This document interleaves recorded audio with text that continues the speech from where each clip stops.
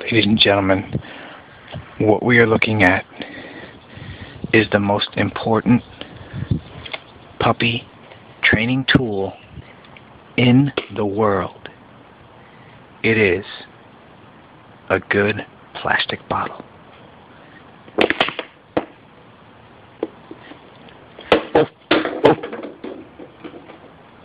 Sit. Sit. Speak. Speak.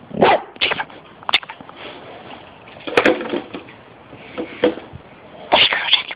Nice girl, Jackie. What a nice girl. One more time.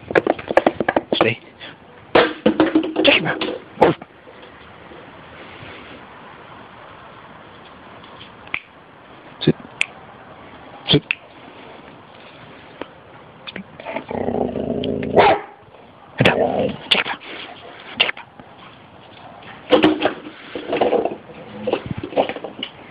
Nice girl.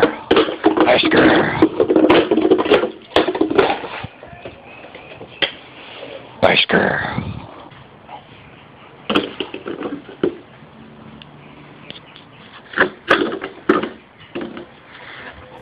And this is the wildness of the puppy. This is the energy.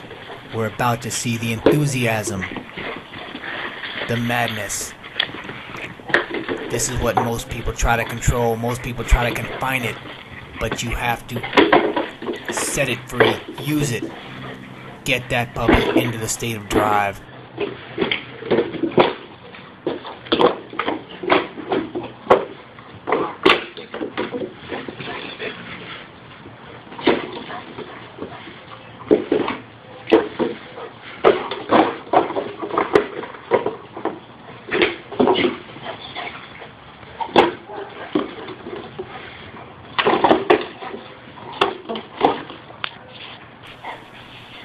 Take advantage of all the energy, all the enthusiasm that she brings, and use it to build her into the spectacular animal she's meant to be.